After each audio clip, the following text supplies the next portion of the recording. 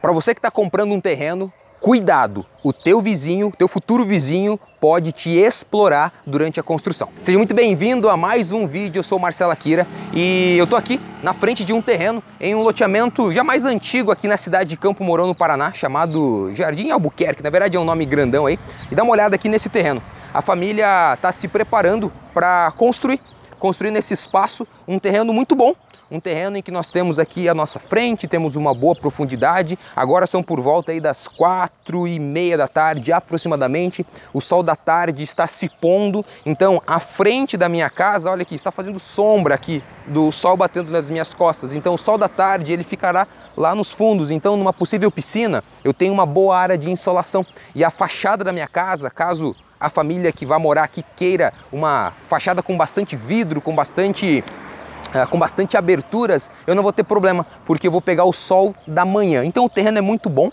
então levemente em aclive, não tenho problemas com aterro. Percebe na construção do, do vizinho lá nos fundos que foi feito um, um aterro, naquela construção daquele sobrado também é visível ali um espaço de terra. E aqui nesse terreno eu não terei esse problema, o que faz com que esse espaço seja muito bom.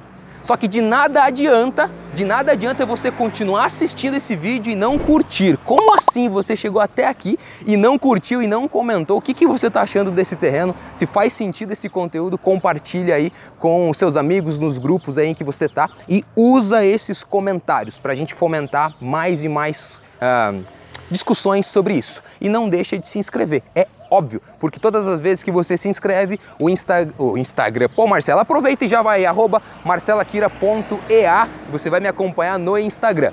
Mas voltando para o YouTube, todas as vezes que você se inscreve, como assim todas as vezes? Uma única vez que você se inscreve e todas as vezes que eu posto um vídeo novo, o YouTube te notifica disso e faz você ficar atento a todo o material que eu tenho trazido aqui.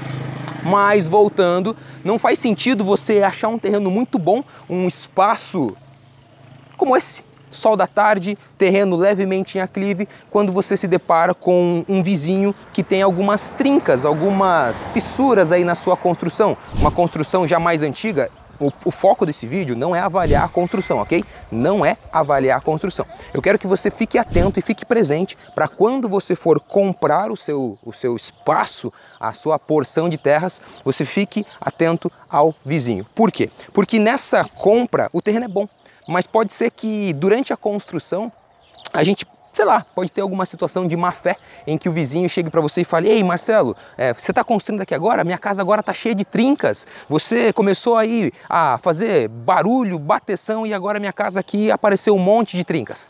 Tem como você se precaver. Então, você gostou desse espaço?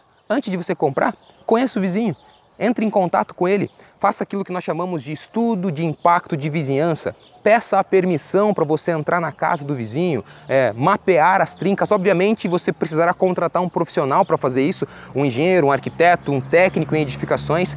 Ah, ah, Marcelo, mas eu quero ir lá e eu mesmo tirar foto. Vale, válido, você documenta isso. Você é, tem um, um arquivo digital, mas é interessante você ter um documento da assinado por um profissional, mapeando essas trincas, mostrando como elas estão para que quando você for fazer a construção, nesse seu terreno perfeito aqui você encontrou, sol da manhã para um lado, sol da tarde para os fundos do terreno, exatamente na área que vai bater piscina, terreno levemente em aclive, mas durante a obra o seu vizinho começa a te dar dor de cabeça. Eu não estou dizendo que isso é comum, tá bom?